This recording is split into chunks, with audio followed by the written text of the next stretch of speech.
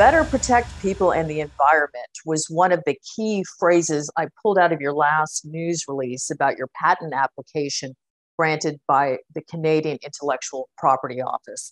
How about we start there, Greg? Sure, I'd love to, Tracy. Thank you and good morning. Yeah, we were uh, very pleased to see that our we received our full patent grant on uh, December 6th. That was a process that started uh, a little over two years ago. We filed our um, initial provisional patent in September 2020. And we continued to work through the process and brought it to full patent status. And that was awarded in uh, a few weeks ago, December 6th, as I said. Uh, that was a really big moment for our company. It really validated our business model and demonstrated to the market that we were able to take something from a concept on a blackboard right through to actually owning the intellectual property behind the invention. Uh, that is our business model. We are an intellectual property uh, development and commercialization company. We now own the rights to Zenguard, which is our antimicrobial coating.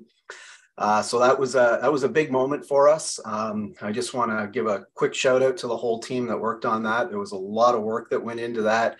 Regulatory, uh, Francis Dubé, he uh, he basically navigated that for us. And now that we have that, that's behind us. And now we own the rights to this for 20 years, which is great. And it allows us to focus on what we need to focus on, which is the commercialization of the Zenguard antimicrobial coating in the marketplace. So it's a, a big, a big moment for our company to celebrate. And, and there's 54 pat- patents, is that correct? There's, there's 54 claims associated with the patent that were granted from the actual uh, compound itself to the application onto um, specific substrates, whether that be polypropylene for masks or HVAC filters, which obviously are two very, very big areas that we're focused on commercializing. So yeah, we got all 54, which was fantastic. And as a next step, now we'll be taking it to global markets, including the US, Europe, a number of countries in Asia. So it's the first step, and we expect to get the patents awarded in all those jurisdictions as well. Well, clearly you've been planning for some positive news because it was barely a week later that you announced the successful phase two results of HVAC testing. So, are we ready for market in the HVAC sector? Uh, yeah, that was uh, again a very, very big moment for us. This is a process that started a year ago, right now, with the Innovation Solutions Canada Challenge. It was a two phase challenge. We passed phase one in April of this year, where we demonstrated that our coating applied to HVAC filters was efficacious, i.e., it killed pathogens. Uh, we had to demonstrate that it was safe, and we had to demonstrate that it was a green solution, that it didn't impact energy requirements. We met all of those in phase one. Phase two was actually demonstrating the technology in a real world environment. So the NRC, the National Research Council of Canada, set up a mocked up classroom and, and basically tried to replicate what it would be like with airflow in a classroom space and measuring um, how effective our filters are at removing pathogens from that environment versus an uncoated filter we got those results uh, in early December and announced those last week, and we passed that with flying colors as well. So our coating is a unique, innovative, and world-class solution when it comes to improving indoor air quality. A couple of points on that. It works on almost any existing HVAC system, so there's no additional equipment required, so no new air handlers, uh, no uh, additional energy requirements. And we just simply apply our coating to an existing filter and it substantially improves the filtration efficiency with respect to bacteria, viruses, and fungus. So we're really excited about it. And now we're on the path to commercialization. So, can you spray this on, or do you have to? How do you get the coating onto the filters, uh, Greg? Great question, Tracy. So, uh, as part of our build out uh, earlier this year in our commercial facility in Guelph, Ontario, we bought a, an industrial spray system.